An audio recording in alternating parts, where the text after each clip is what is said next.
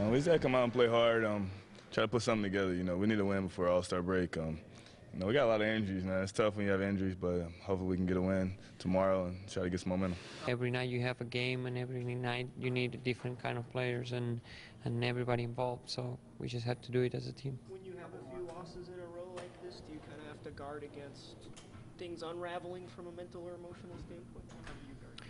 Well, it's hard, of course, when uh, you're losing games that uh, they're close, or or you're losing a lot of games in a row. It's it's tough to come back, but uh, we just want to get back on track. We're right there. With last week, it's been tough, and we just need everybody healthy to play aggressive and, and be there. We've been struggling, but it's tough. When you don't have a core bunch of your guys, it doesn't matter who's out there. It's, it's a struggle. Guys trying to fit in, do different things. But for us, it's just about getting better, and hopefully we can put a stretch together and win some games. I mean, defense is the key, I think, and we're not uh, doing in the right way because they're scoring a lot of points. We know in offense we can score, but in defense, uh, some some nights are rough, and we just had to improve that area. I mean, I think defense has been a concern of ours from day one. it's not something we've been. We were top five in defense coming into this league. I don't know coming into the year. So I think that's something that we've talked about from day one and trying to get better at it. Um, but when you when you do lose, um, you know, obviously, um, you know, 40 points, and then you have to try to make up that. Uh, it's, it's just tough in this league. There's a lot of skilled offensive players in this league, and to try to make up uh, in regards to trying to stop them for you know, scoring 40 points and you're short-handed, it just becomes a very tough task. Is the All-Star break coming at just the right time for you guys?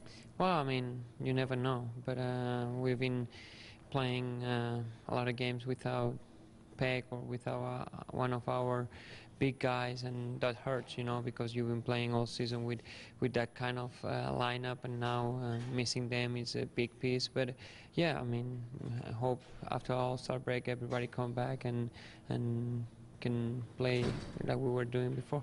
You always want to go into an All-Star break feeling confident, and so hopefully, you know, winning a game is give us a chance to go in that, uh, you know, looking at things, and then you get a chance to, uh, you know, relax, kind of, uh, you know, re revamp and review some things. Um, the first season, uh, first half of the season, and then you look at the second half, get a better sense of, you know, trying to plan some things out for the second half, seeing who we're going to have back, and then go from that. But you never want to, you know, like I said, go into All-Star break on a bad, uh, you know, note, and losing the game would be disappointing.